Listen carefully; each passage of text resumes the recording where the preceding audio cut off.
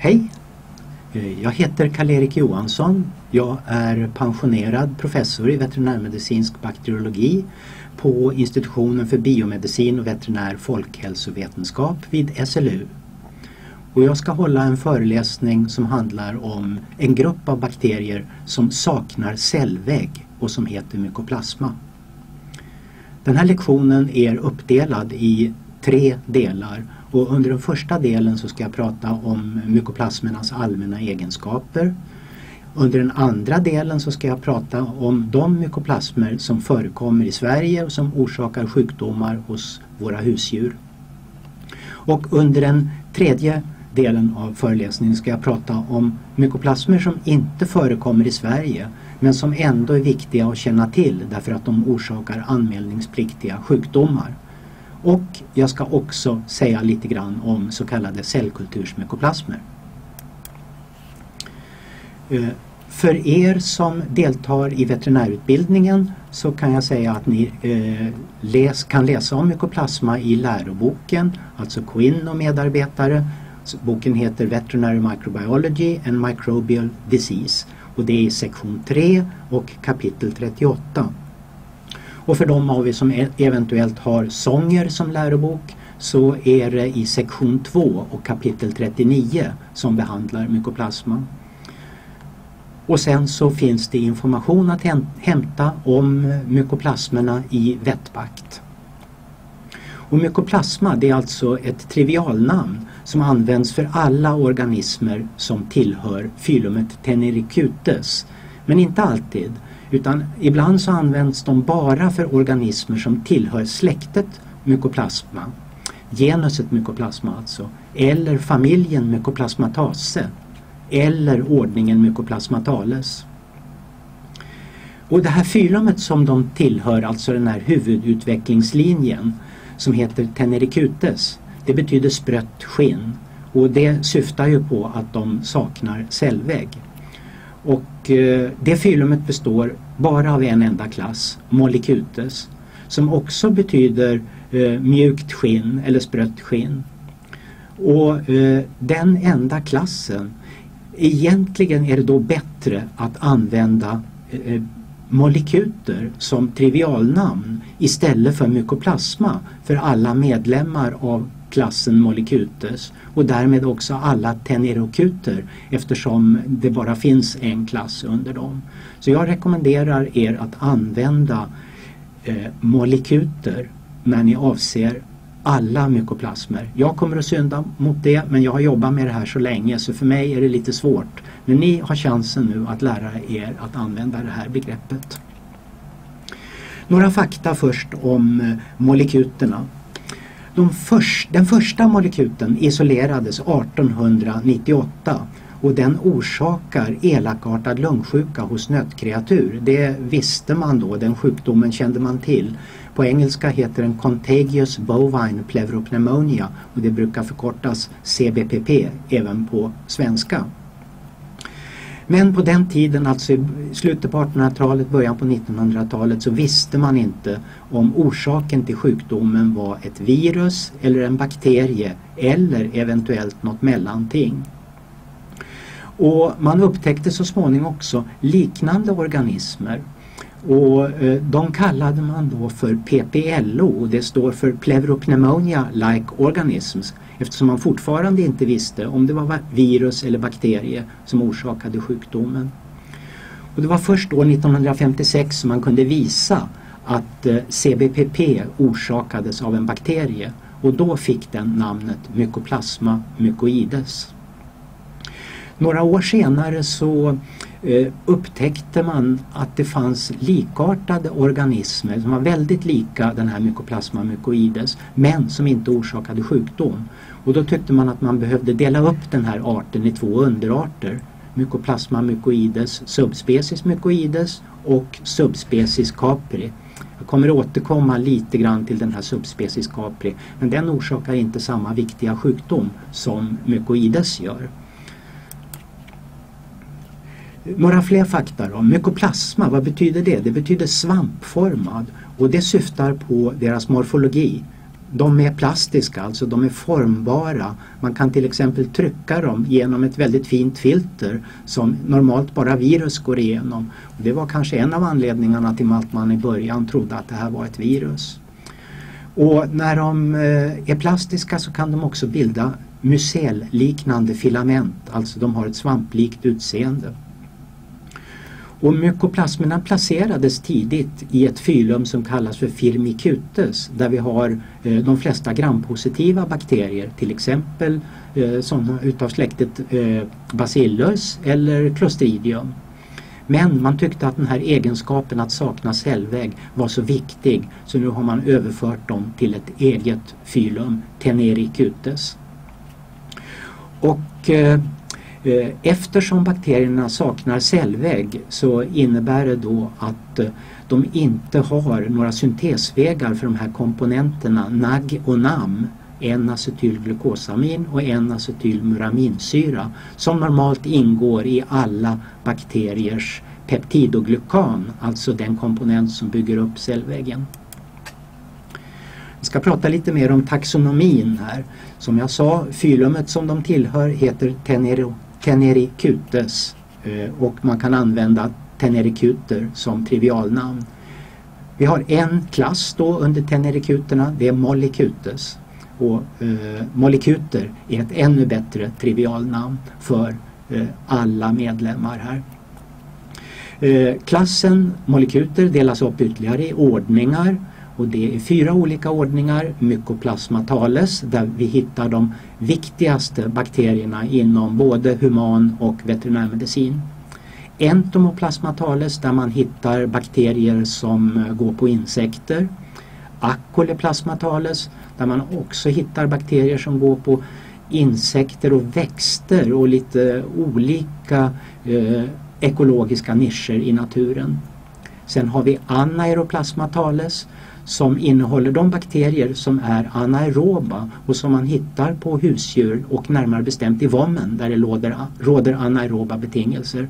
Men de finns där bara som kommensaler. De är inte, vad man vet idag, sjukdomsalstrande. Sen är ordningarna uppdelade ytterligare i familjer och i tabellen här så ser man inte alla familjer utan jag har tagit ut några som är lite viktigare än de andra och framförallt då familjen Mycoplasmatase där vi har släkterna Mycoplasma och Ureaplasma som båda orsakar sjukdomar som är viktiga inom veterinärmedicinen. Men som ni ser av tabellen så är Mycoplasma det absolut största genuset med över 130 beskrivna arter. Eh, Spiroplasmatase den familjen hör alltså till ordningen Entomoplasmatales och spiroplasmerna hittar man på växter och insekter. Och på växter orsakar de sjukdomar och de är framförallt viktiga de länder där man odlar citrus och eh, eh, vindruvor.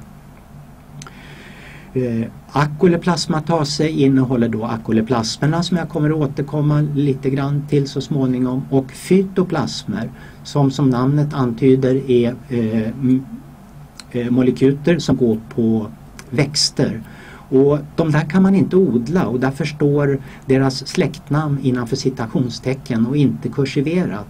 Därför att eh, enligt de regler som gäller för namn Eh, namngivning så får man inte ge de här officiella namn utan de ska kallas för candidatus fytoplasma med ett artepitet efteråt.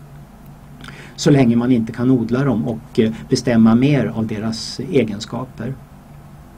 Och sen har vi anaeroplasmatase där vi har de här anaeroba eh, molekylerna, anaeroplasma och asteroleplasma. Eh, jag ska prata lite grann om olika karaktäristika och jag börjar med det som gäller för metabolismen. De flesta mykoplasmer är fakultativt anaeroba utom då anaeroplasmerna som är strikt anaeroba. Eh, sen brukar man skilja på glukosfermenterare och argininhydrolyserare. Och eh, några kan både fermentera glukos och hydrolysera arginin. Och det här är det sätt de får sin energi på. Eh, och några kan inte göra någonting av det där utan har andra sätt att generera energi. Men det här är lite viktigt att känna till därför att det används för karaktärisering och identifiering av mykoplasmer. Det är inte så lätt att odla mykoplasmer. De kräver ett väldigt näringsrikt medium eftersom de saknar många metaboliska syntesvägar. Så i sitt medium måste de ha aminosyror, de måste ha nukleotider och lipider eller fettsyror eller ibland både och. Och vitaminer av olika slag kan de inte göra heller. Eh, och när man odlar dem så ska man tänka på att de växer långsamt. De växer gärna på ytor så att de växer på ytan av det kärl man odlar dem i. Odlar man ett flytande medium som innehåller agar också så växer de gärna på agarytan. Och Eh, eh har man celler närvarande så växer de också väldigt gärna på cellytan. Eh, de kräver kolesterol i mediet, dock inte akoleplasmerna, men alla har kolesterol i sina membraner. Akoleplasmerna kan alltså syntetisera kolesterol själva. Och anledningen till att de har kolesterol är att eftersom de saknar cellvägg så måste membranet på något sätt stabiliseras. Och det gör det genom att det finns kolesterol i membranet. Och de flesta arterna kan man odla på helt artificiella substrat med två undantag. Eh, dels de hemotropiska mykoplasmerna och de hittar man just bland genus mykoplasma. Och sen fytoplasmerna som vi pratade om alldeles nyss. Och därför så har inte de här arterna några helt officiella artnamn. Eh, när man odlar mykoplasmerna så har man ofta en pH-indikator närvarande för att kunna avgöra om de är glukosfermenterare eller argininhydrolyserare. Alltså om de sänker respektive höjer pH. Eh, lite grann om storleken på organismerna och på deras genom. Som andra bakterier, eller de flesta andra bakterier ska jag säga, så har de cirkulära genom. Men de är väldigt små. De är bara mellan 0,58 och 2,2 megabaspar.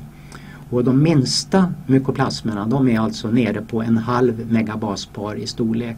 Och det är ungefär en tiondel av vad en E. coli-bakterie har.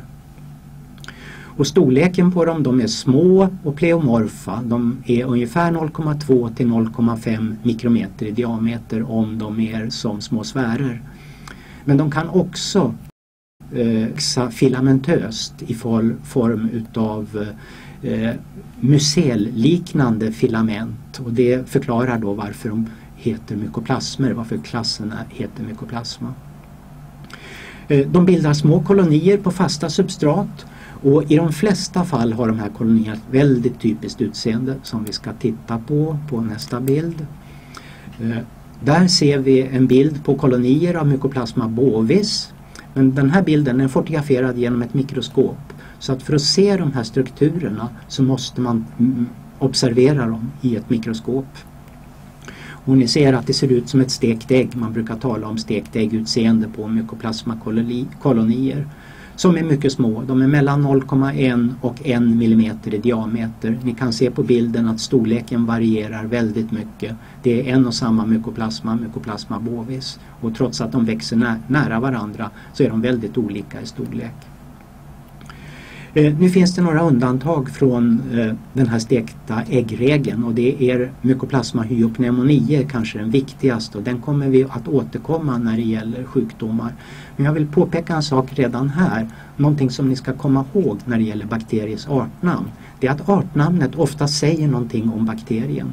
Mycoplasma hyopneumoniae, artepitetet här, hyopneumoniae, Hyo talar om att det är en bakterie man hittar på gris och pneumonie att det är en bakterie som man troligen har hittat på en gris som har lidit av eh, pneumoni. Så tänk på att artnamnen är i många fall väldigt viktiga och att ni kan läsa mer om det på Vettbakt. Det finns några stycken till då som eh, eh inte bildar sådana här typiska kolonier. Det är Mycoplasma flocculare, Mycoplasma ovipneumonie och Mycoplasma dispar. Om man gör en fylogenetisk analys utav just de här mykoplasmerna som saknar det här stekta äggutseendet så kommer man upptäcka att de är väldigt nära besläktade med varandra. Och eh, det finns alltså fler troligen gemensamma egenskaper än det här att de eh, bildar lite eh, atypiska kolonier. Eh, det här är viktigt.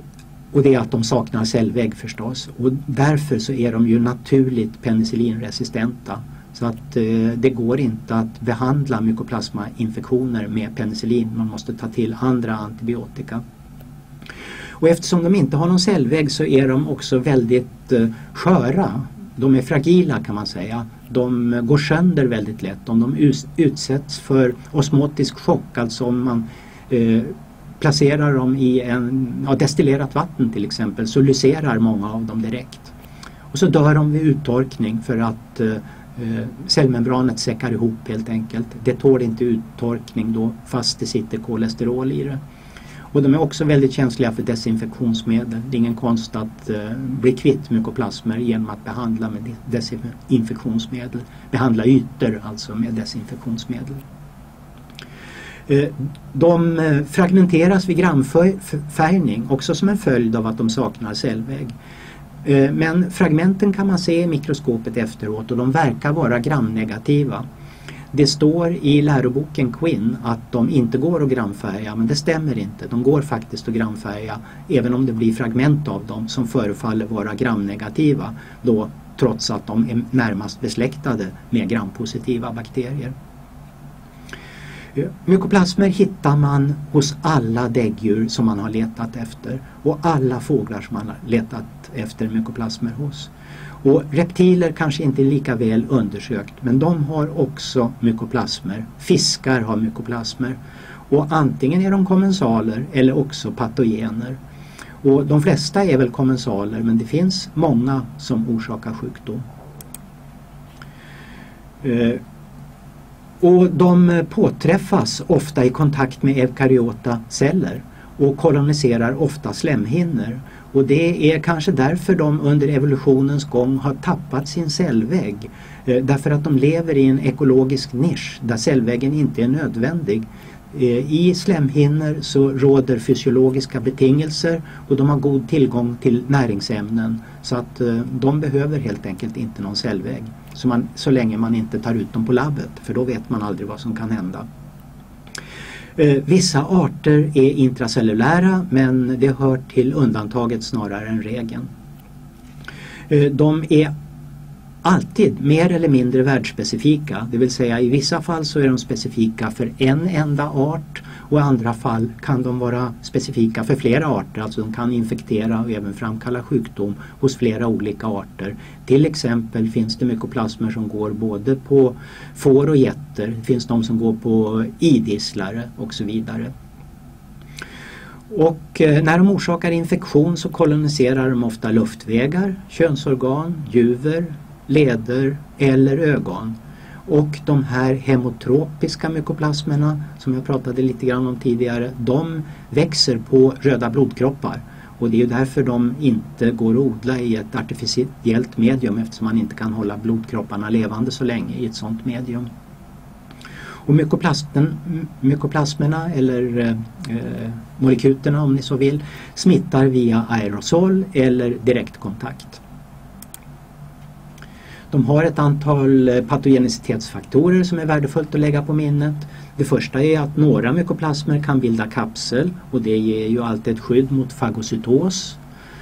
Eh, de har adherensproteiner som ger dem vidhäftningsförmåga och eh, då har de vidhäftningsförmåga till specifika celler så det ger ju den här vävnadstropismen. Till exempel cilier som då tappar sin funktion och förstörs när mykoplasmerna växer på dem. De har så kallade variabla ytproteiner som gör att de kan undkomma värdcellens immunsvar genom att de då uttrycker nya antigena determinanter på ytan. De kan alltså ställa om syntesen av proteiner och eh, aktivera olika delar av genen för vissa proteiner så att proteinet får olika eh, peptider som fungerar som antigena determinanter på ytan. Eh, de har också enzymer som producerar eh, veteperoxid och det är ett gift för eh, värddjurscellerna. Det dödar värddjurscellerna om det blir tillräckligt mycket av det. Och sen har de dessutom förmåga att modulera eller aktivera värdcellens immunsvar och vilket leder till frisättning av cytokiner vilket i sin tur leder till feber och inflammation. Här är en liten översikt över viktiga molekyter Och jag kommer att prata mer om de viktigaste lite senare men jag kan ju nämna några stycken här också som vi inte kommer att prata om vid ett senare tillfälle. Och ni ser här att de är färglagda i enligt samma färgkod som vi utnyttjar i databasen Vettbakt. Det vill säga de rödmarkerade är viktiga, mycket viktiga till och med och de gulmarkerade är viktiga att känna till.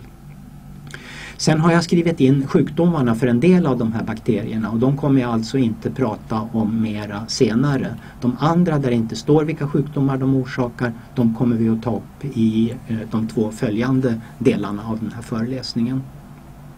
Jag kan ju nämna då uh, ureaplasma diversum istället som uh, ger genitala infektioner hos nötkreatur och den stöter man på då och då i Sverige så den är viktig för er att känna till. Och uh, på får och getter där har vi några som jag kommer att prata om senare. Dock inte den här Mycoplasma mycoides subspecies capri.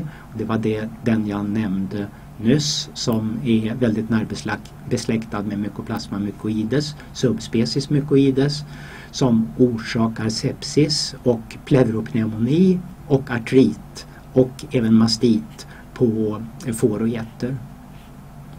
På fjäderfä har vi Mycoplasma gallisepticum, viktig, den tar vi upp senare. Sen har vi också Mycoplasma meleagridis och Mycoplasma synovia som orsakar luftsäcksinfektion och ledhinneinflammation på fjäderfä. På gris har vi Mycoplasma hyopneumoniae som vi får anledning att återkomma till. Mycoplasma hyorinis ger eh, ledinfektioner.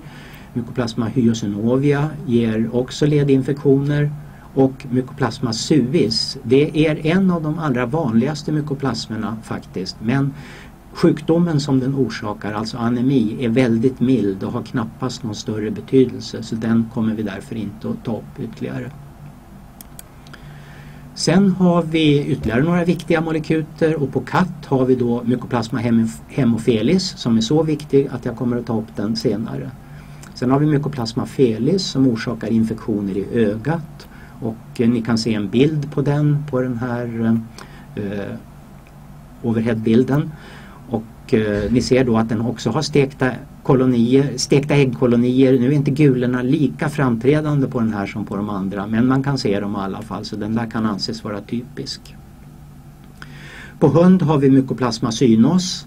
Den eh, har tveksam klinisk betydelse men det finns några rapporter om att den kan orsaka pneumoni på hund.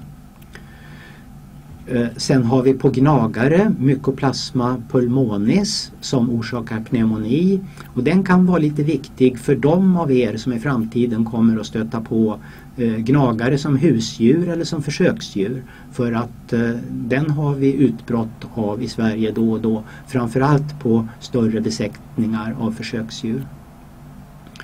Och sen på människa har vi mykoplasmapneumonia som ni som veterinärer, ni måste känna till det. Det hör till er veterinärmedicinska allmänbildning. Och eh, den är väldigt vanlig när det gäller lunginflammation och varje år så är det utbrott och eh, epidemier utav mykoplasmapneumonia.